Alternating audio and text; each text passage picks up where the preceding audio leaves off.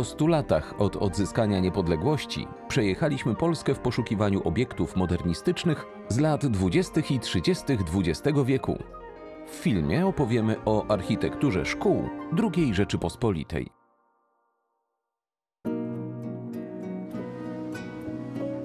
Jeżeli popatrzymy na dokonania II Rzeczypospolitej w odniesieniu do budownictwa szkolnego, to nowych budynków szkolnych powstało grubo ponad tysiąc. W tym krótkim okresie 20 lat można by zadać sobie pytanie, jak to możliwe, że aż tyle tych budynków szkolnych wybudowano. Okazało się, że pryncypia modernizmu bardzo dobrze odpowiadają potrzebom nowoczesnej edukacji. Zmiany architektoniczne dotyczyły wszystkich szczebli y, kształcenia, od przedszkoli po y, szkoły wyższe. System szkół powszechnych był oczywiście bardzo ważnym elementem w edukacji prowadzonej na terenie województwa śląskiego. Tutaj ta architektura y, awangardowa, zgodna z zasadami pięciu punktów Le Corbusiera i y, Bauhausu, y, no, była realizowana. Było też troską tych architektów, żeby szkoła stanowiła miejsce wychowania estetycznego, ale też takiego no, codziennego. Po odzyskaniu przez Polskę niepodległości w 1918 roku sytuacja w szkolnictwie była trudna. Konieczne stało się ujednolicenie zróżnicowanych po zaborach systemów edukacyjnych oraz likwidacja ogromnego analfabetyzmu. Brakowało budynków szkolnych. W zaborach pruskim i austriackim szkoły istniały, natomiast w rosyjskim system należało zbudować od nowa. Tam tylko kilkanaście procent dzieci uczęszczało do szkół. Dzieci na wsi nierzadko uczyły się w izbach z klepiskiem, a w mieście w wynajętych salach. Przełomem stało się wprowadzenie obowiązku szkolnego dla uczniów w wieku od 7 do 14 lat. Powstała powszechna, bezpłatna i świecka szkoła. Miała kształcić i wychowywać nowych obywateli.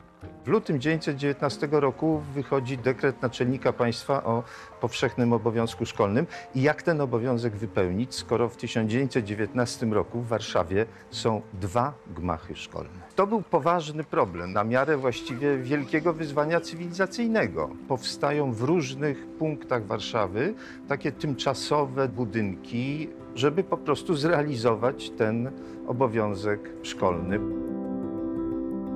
wychodzi ustawa nakładająca na gminy obowiązek zapewnienia y, lokali dla szkół. Ministerstwo zadeklarowało wsparcie w wysokości 50% kosztów na budowę takiej szkoły, natomiast na pozostałe 50% można było uzyskać kredyt. I to spowodowało, że gminy no, wręcz rzuciły się na budowę nowych szkół. W okresie międzywojennym inwestycje obejmowały wszystkie szczeble edukacji. Budowano przedszkola, szkoły powszechne, średnie zawodowe i ogólnokształcące na terenie całej Polski. W latach dwudziestych stawiano budynki w stylistyce rodzimej, historyzującej, często z odcieniem narodowym. Na wsi przypominały one wiejskie chaty czy dwory. W miastach, w zależności od rangi, były to obiekty bardziej monumentalne, w stylu neoklasycystycznych czy barokowych pałaców. Poszukiwano formy dla wzmocnienia polskiej tożsamości. W drugiej dekadzie niepodległości przyszedł czas na modernizm. Znaczenie miał rozwój modernizmu w Europie Zachodniej, innymi powstanie w Dessau nowoczesnej szkoły Bauhaus, promującej architekturę funkcjonalistyczną. W latach 30. modernizm definitywnie zwyciężył. Szkoły miały być standardem cywilizacyjnym dla całego kraju. Budownictwo szkolne opierało się o rozbudowane badania dotyczące edukacji, dotyczące potrzeb dziecka i potrzeb nauczyciela. Modernizm dawał bardzo szybkie i efektywne rozwiązania dla problemu e, odpowiedniego oświetlenia, rozmieszczenia dzieci e, w zdrowych pomieszczeniach. Bardzo często zdarzało się tak, że w niektórych e, regionach czy okolicach to były jedyne budynki tak dobrze wyposażone w sanitariaty, w prysznice. Wychowanie i kształcenie w nowoczesnych placówkach miało mieć charakter kompleksowy. Budowano też obiekty służące opiece nad dziećmi najmłodszymi. Szczególnie gęsta sieć funkcjonalistycznych przedszkoli i ogródków jordanowskich powstała na Śląsku. Budowę przedszkoli i jordanków wspierała Helena Śliwowska, żona wojewody śląskiego Michała Grażyńskiego, mecenasa oświatowych inwestycji. Autorem kilku projektów przedszkoli był warszawski architekt Kazimierz Wędrowski. Modernistyczne reformy w budownictwie wiązały się z postulatami zdrowego, higienicznego wychowania od najmłodszych lat w zielonym środowisku. Ten najniższy szczebel poświęcony po prostu najmłodszym i były to ochronki, później ogrody jordanowskie. W Katowicach były minimum cztery takie, które do dnia dzisiejszego się zachowały. W ościennych e, miejscowościach, miastach mamy również e, pozostałe obiekty, więc jest ich tutaj prawie 20. Między innymi ogród jordanowski przy ulicy Barbary. To taki mały statek, kuter w estetyce streamline małego przedszkola, które do dnia dzisiejszego się zachowało. Próbowano wzbudzić rozumienie przestrzeni wśród tych najmłodszych. Struktura szkolnictwa w międzywojniu była skomplikowana. Początkowo istniało siedem rodzajów szkół powszechnych, od jedno do siedmioklasowych. Podział wynikał z liczby uczniów i nauczycieli oraz możliwości lokalowych, zróżnicowanych szczególnie na wsi. Wprowadzona w 1932 roku reforma ministra Janusza Jędrzejewicza ujednolicała system, ustanawiając podział na trzy poziomy edukacji powszechnej. Po szkole czteroklasowej można było się kształcić jedynie w szkołach zawodowych. Natomiast sześcio- i siedmioklasowe otwierały możliwość dalszego kształcenia w gimnazjach, liceach, a następnie w szkołach wyższych. Najpilniejszą potrzebą była budowa szkół powszechnych. Liczba tych inwestycji zwiększyła się po 1933 roku, po zakończeniu kryzysu ekonomicznego. Ministerstwo wydawało zeszyty z gotowymi projektami szkół. Wiele takich projektów wykonał Zdzisław Mączeński, kierownik Wydziału Budownictwa Szkół w ministerstwie. Opracowano też wytyczne dotyczące wielkości klas i wzorów mebli.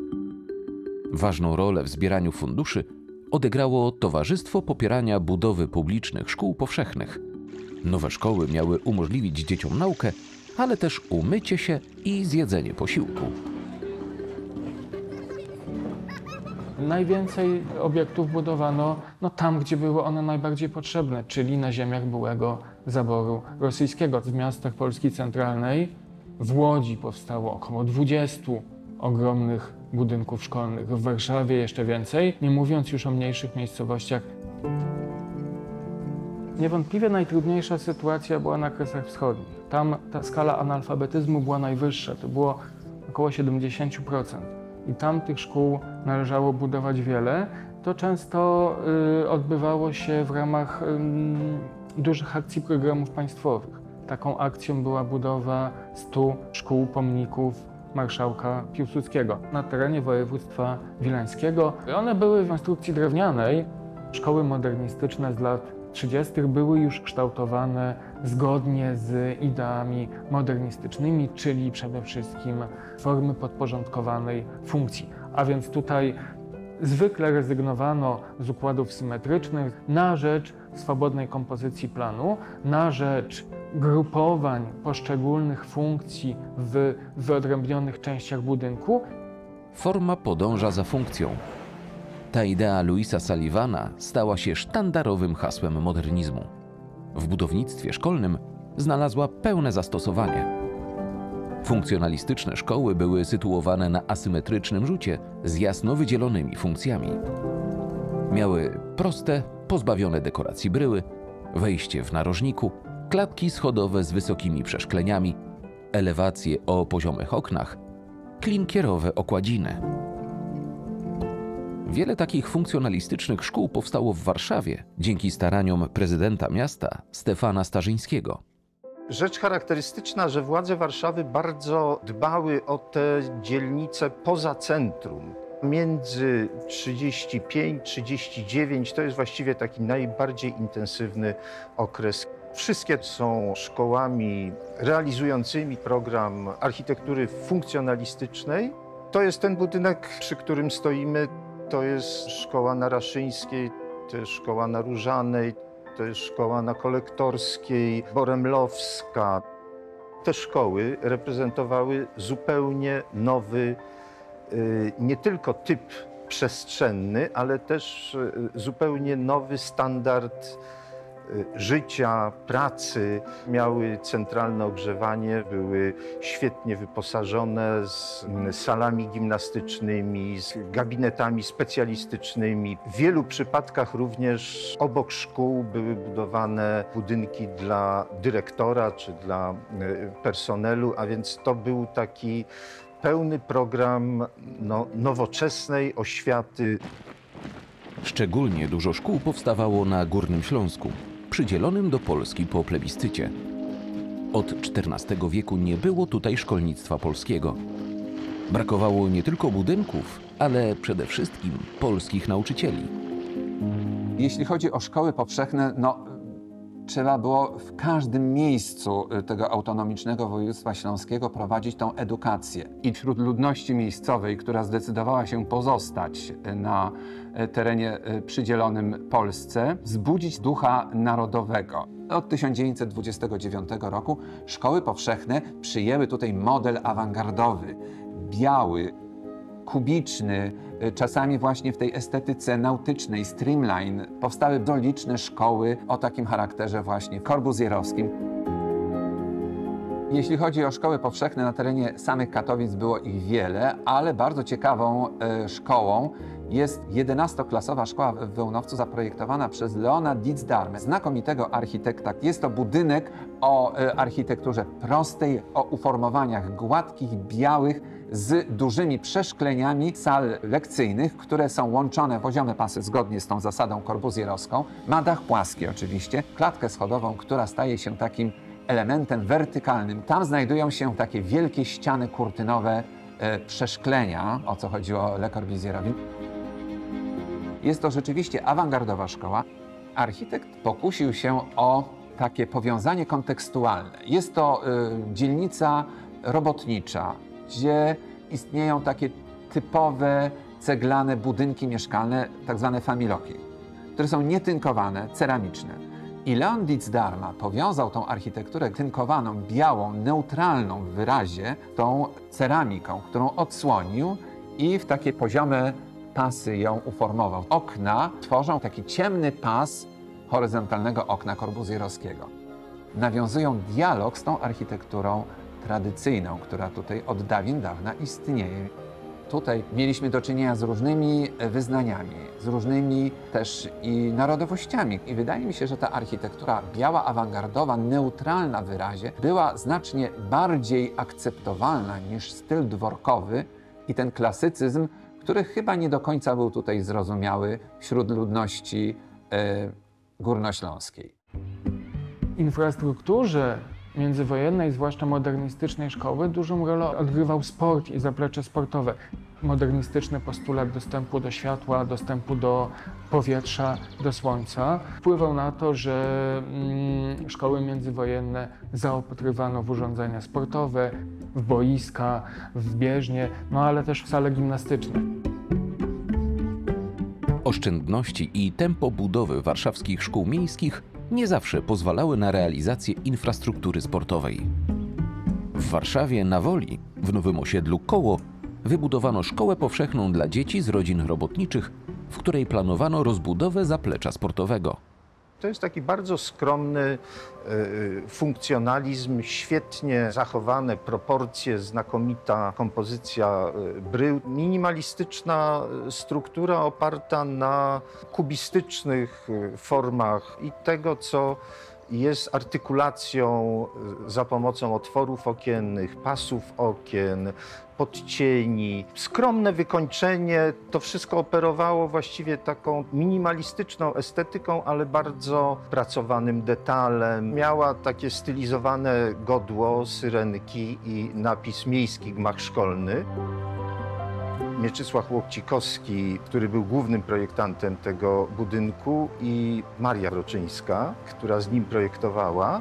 Zresztą architekci, którzy się wyspecjalizowali w tego rodzaju mm, architekturze. Ten zespół zaprojektował poza tym budynkiem także właśnie szkołę przy ulicy Raszyńskiej.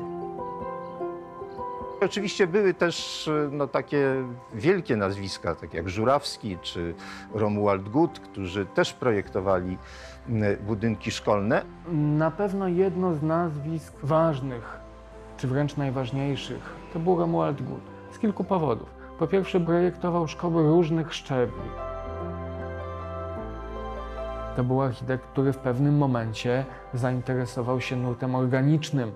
Yy, Starał się wprowadzać projektowane przez siebie obiekty w otoczenie, nawiązywać pewien dialog z bezpośrednim otoczeniem. Ta szkoła wileńska jest tego doskonałym przykładem. Ona z jednej strony jest ściśle modernistyczna, funkcjonalistyczna, ale zawiera pewne elementy, takie jak ściany czołowe wyłożone lokalnym granitem, który pozwolił wtopić ten budynek w otoczenie, a to otoczenie jest takie leśne, naturalne, Dbanie o zieleń, sadzenie drzew wokół nowych szkół było realizacją modernistycznych haseł i elementem wychowania. Popularna była też organizacja przyszkolnych ogródków, w których rośliny pielęgnowały same dzieci. Prowadzono zwyczaje nauczania na zewnątrz. Budynki były budowane tak, żeby w ogóle były wpisane w przyrodę, najczęściej korzystały ze światła dziennego, posiadały olbrzymie przeszklone ściany, miały bardzo jasno wydzielone też części komunikacyjne. W Krakowie przykładem budownictwa szkolnego może być szkoła przy ulicy księdza Blachnickiego, która powstała w ramach całego programu budowy szkół wspieranych przez miasto Kraków. E, To była dzielnica Grzegórzki, e, zamieszkana głównie przez robotników i taka nowoczesna szkoła była tam niezmiennie e, potrzebna. Właśnie z całym zapleczem sportowym, z ogrodem zielonym wokół, z szerokimi korytarzami.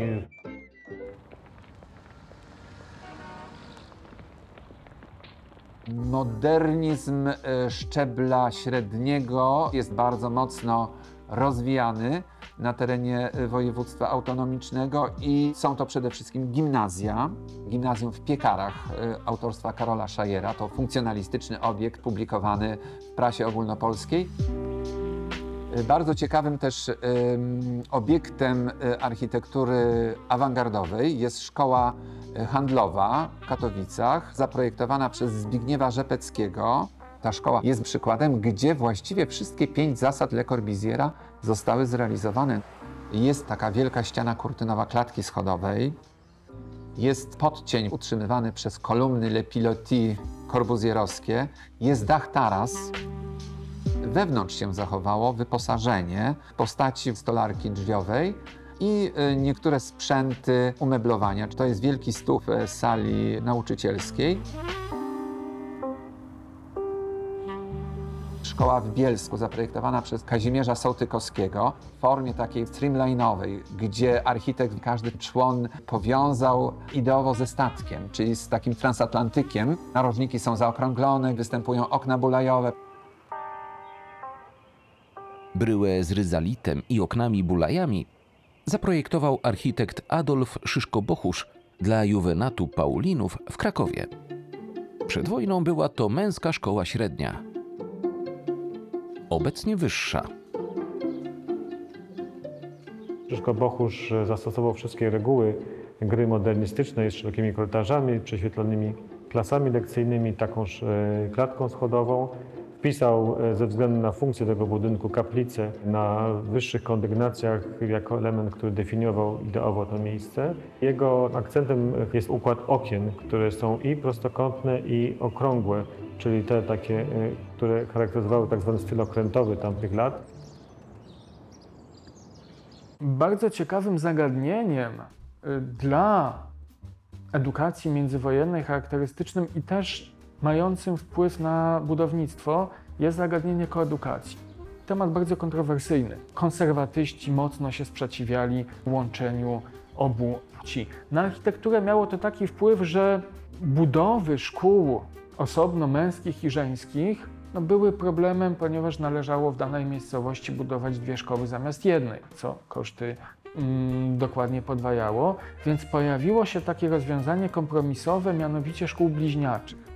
Otóż szkół budowanych pod jednym dachem, ale wyraźnie rozdzielonym na dwie części, na część męską i część żeńską. Większość budynków gimnazjów to są albo gimnazja męskie, albo gimnazja żeńskie.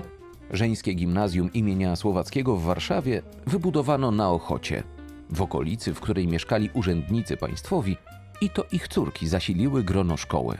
Budynek postawiono dzięki staraniom Towarzystwa Przyjaciół Gimnazjum oraz zasłużonej dyrektorki i rodziców.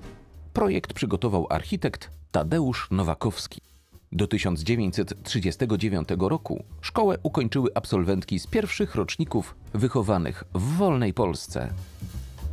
Znajdujemy się w gmachu dawnego Państwowego Gimnazjum Żeńskiego imienia Juliusza Słowackiego. Budowa dokładnie to jest rok 1931 do 1933 i jest to jeden z przykładów architektury takiej ściśle modernistycznej, takiej właśnie funkcjonalistycznej.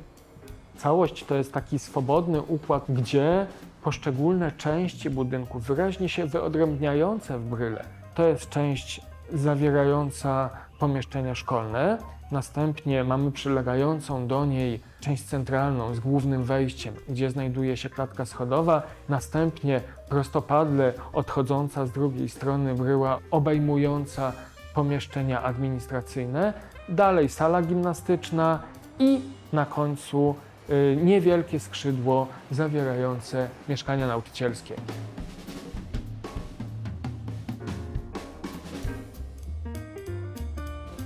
Tutaj wyraźnie zaznaczano, że korytarz musi mieć własne oświetlenie, bo korytarz szkolny ma szerszą funkcję niż tylko komunikacyjna.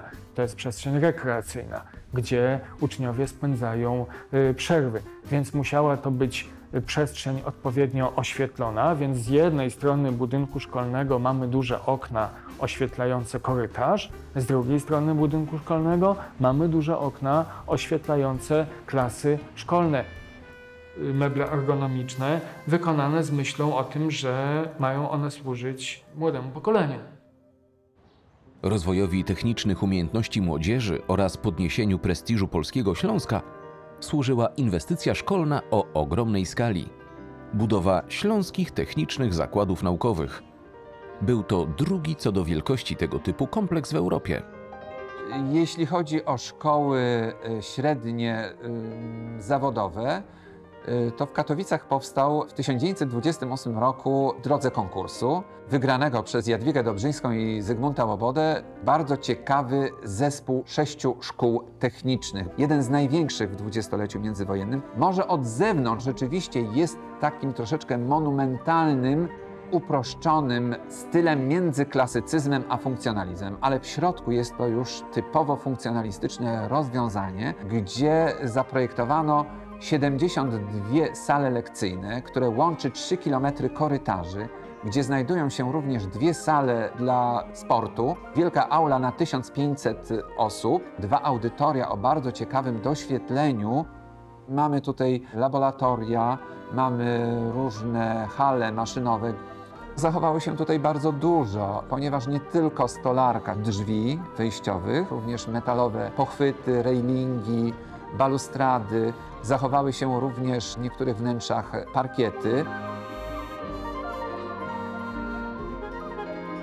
Rangę budynku podkreśla zaprojektowana przez architektów płaskorzeźba orła.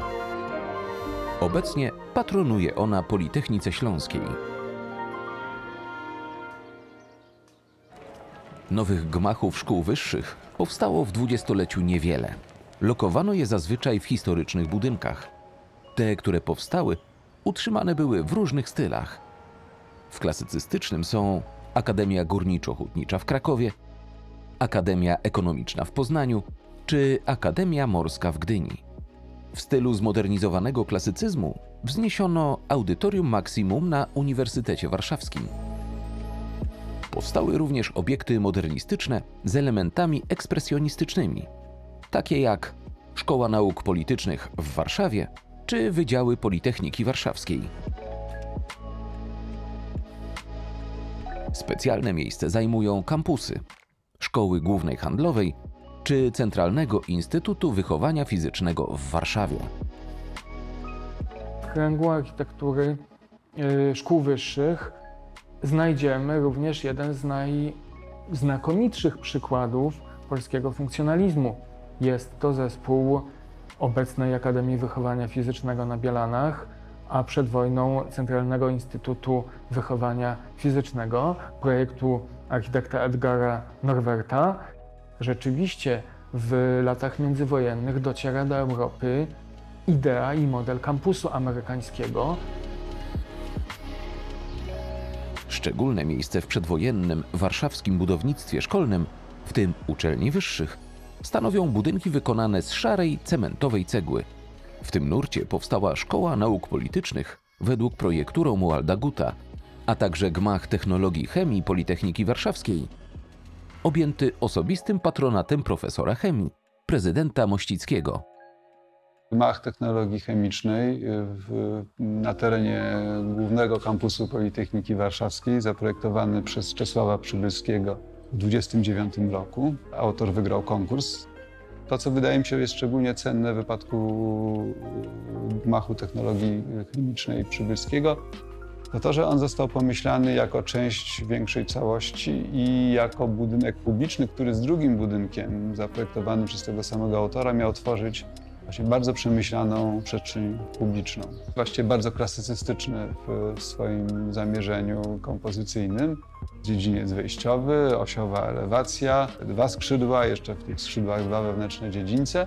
Fascynujące są te różne motywy dekoracyjne na płaskiej całkowicie ścianie. Wszystko jest w jednej płaszczyźnie i rozgrywane jest tylko gęstością podziałów cegły, rytmami spoi. Przybylski był mistrzem właśnie w takim porządkowaniu planów za pomocą kilku bardzo prostych zabiegów architektonicznych. Detale klatek schodowych, które są no, bardzo typowe dla modernistycznych budowli, bardzo też skromne, ale elegancko zaprojektowane, może trochę przerobione e, po wojnie. Bardzo dobrze się starzeją, a nade wszystko świetnie się starzeje e, elewacja ten skromny nurt architektury modernistycznej, tej nie takiej bardzo awangardowej, lekko klasycyzującej, był bardzo interesującym kierunkiem w architekturze gmachów szkolnych.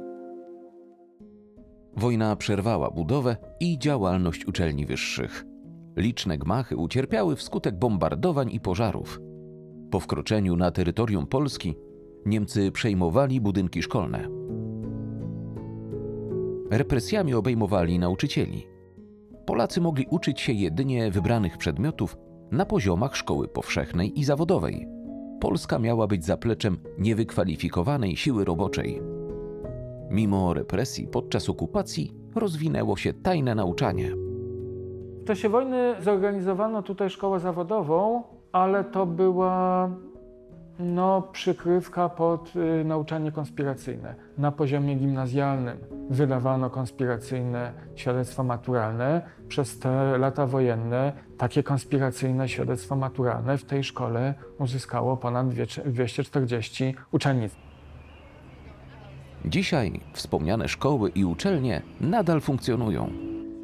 Od wojny zmieniały się ich nazwy i rangi. W ciągu niemal 100 lat były wielokrotnie remontowane. Rzadko kiedy takie zmiany obejmowano ochroną konserwatorską. Niektóre nie doczekały się jeszcze remontu. Obiekty edukacyjne na terenie województwa śląskiego są rzeczywiście bardzo istotnymi elementami kulturowymi i powinniśmy o nie dbać. Nie zawsze tak e, to bywa. Należy wykazać się wielką e, ostrożnością i kulturą w stosunku do e, pierwowzoru. To jest wielki problem, jak traktować takie obiekty, no, które służą w dalszym ciągu tym potrzebom, do których zostały zrealizowane. One są na nowo wyposażane, zmieniane są materiały, parkiety są zastępowane innymi materiałami, Wszędzie jest nowa stolarka, wymienione są okna, więc tutaj właściwie trudno, trudno mówić o, o, o, tym, co z tego zostało zachowane. Nie ma chyba właściwie żadnej y, szkoły, która by w pełni pozwalała nam zobaczyć, jak to w dwudziestoleciu międzywojennym wyglądało. Takich oryginalnych elementów wyposażenia sporadycznie się zdarza, żebyśmy na coś takiego trafili. Tutaj w tym budynku szkolnym z takim elementem mamy do czynienia. To są umieszczone nad tablicą takie y, wałki którymi opuszczano i zwijano mapy. Warto zwrócić uwagę, że jeżeli takie elementy są zachowane, one pozostały, bo nawet jeżeli one już nie pełnią swojej funkcji, to są takim świadkiem epoki, pokazują, przypominają, że jesteśmy w budynku, do którego chodzili nasi rodzice i dziadkowie. To wpływa na wartość emocjonalną budynku szkolnego, a wartość emocjonalna jest to jeden z ważnych komponentów wartości zabytkowej. Jeżeli coś na pewno udało się w latach e, 20. i 30., to właśnie edukacja. Bo to, w jaki sposób zostali Polacy w tym krótkim okresie przygotowani do bycia niepodległymi, to pozostało już na cały XX wiek. To właśnie szkoła polska ukształtowała tę generację, która musiała przetrwać wojnę, odbudowywać Polskę później na przekór komunistycznemu zniewoleniu. I to jest największy sukces e, tamtych czasów. I bez wątpienia dokonało się to również dzięki architekturze. Bo właśnie to architektura pokazywała, że to nie jest jakaś nieważna inwestycja. Dokładnie odwrotnie, że właśnie szkoły są reprezentacyjne, że szkoły są nowoczesne, że szkoły pokazują rozwój, pokazują nowe możliwości, jakie daje modernizacja. Na tym terenie mieliśmy do czynienia z y, dużą różnorodnością y, narodową i wydaje się, że ta architektura funkcjonalistyczna była tutaj właśnie takim zbawieniem tej trudnej y, sytuacji i pogodziła wszystkie mm, ewentualne narodowości. To był wielki cywilizacyjny projekt, który zmienił bardzo wiele i pomógł w tym procesie mentalnego czy społecznego scalania ziem polskich po zaborach.